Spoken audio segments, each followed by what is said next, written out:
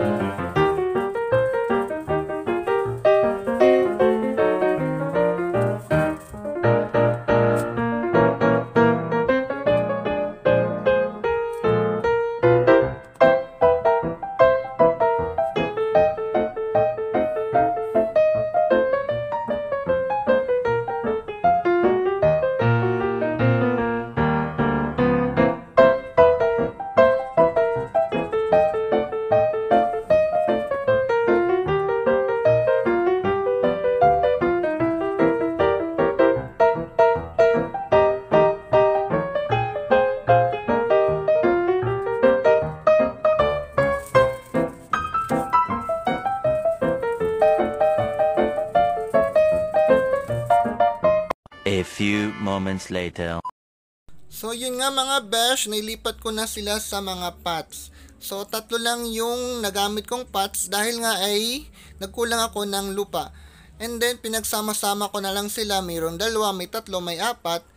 Dahil nga ay kulang tayo ng lupa and then kailangan na talaga silang mailipat dahil nga ay ma 2 weeks na silang nakalagay sa yung but, uh, battle na nilagyan ko.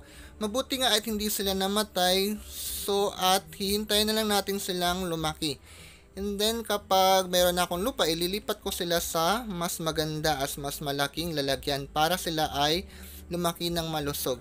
Kaya nga pala sila tinawag na Oxalis zebra dahil nga ay sa uh, dahon nito, yung dahon niya ay may lines na parang zebra at ang hugis ng kanyang dahon ay butterfly. Kaya tinawag siyang Oxalis zebra. So, mga besh, hanggang dito na lang at maraming salamat sa panonood at huwag pong kalimutang i-like, uh, share, comment, and subscribe to my YouTube channel para po lagi kayong updated sa mga bidyong aking gagawin. Maraming salamat po. Bye-bye!